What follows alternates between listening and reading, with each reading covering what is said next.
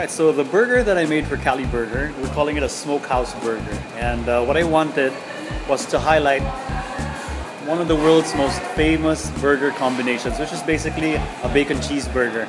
So my inspiration was how do I make it, how do I update it, how do I upgrade it? First, I thought about the experience. I wanted people, I wanted it to look great. You know, it's stacked, it looks interesting, there's sauces, there's textures, just looking at it.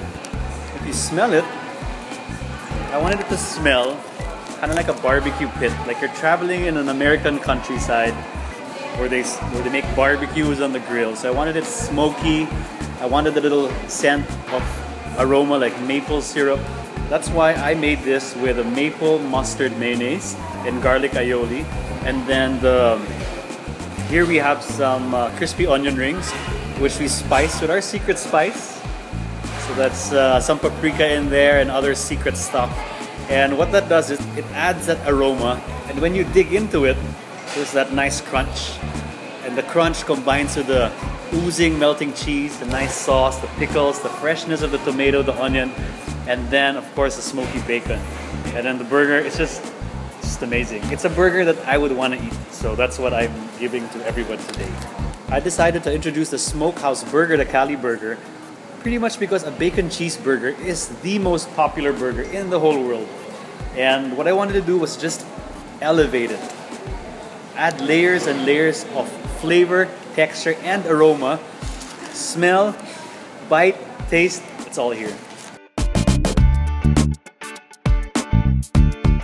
Okay, so what I want this burger to taste like is uh, number one, the beef has to come out and everything else complements the meat. Because we have really good meat and really good cheese. So the onion rings, it has a nice smoky flavor. That's why we're calling it a smokehouse burger. And the bacon is smoked as well. And then to complement the smoke, the maple syrup combined with the mustard gives it a nice aromatic aroma. And then the pickles just cut through all that richness so that every bite you want to take another one.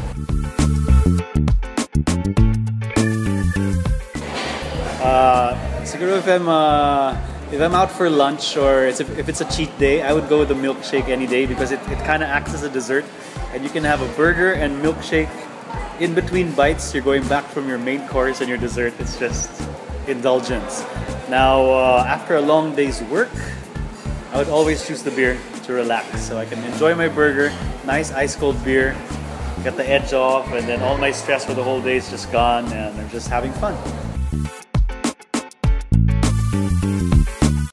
My three reasons for having this burger is well, number one, it's a really, really good burger to have. So if you're a burger fanatic, go ahead, have it. It's familiar enough, the bacon and cheese idea is there, but then it's original enough with the maple syrup and the smoky onions. Number two, burgers are meant to be had with friends. So sometimes you come here to Cali Burger and just have it with your barcada after work, before gimmick, before the movie, whatever. It's meant to be had with friends and sometimes they say, you know, company is best around food.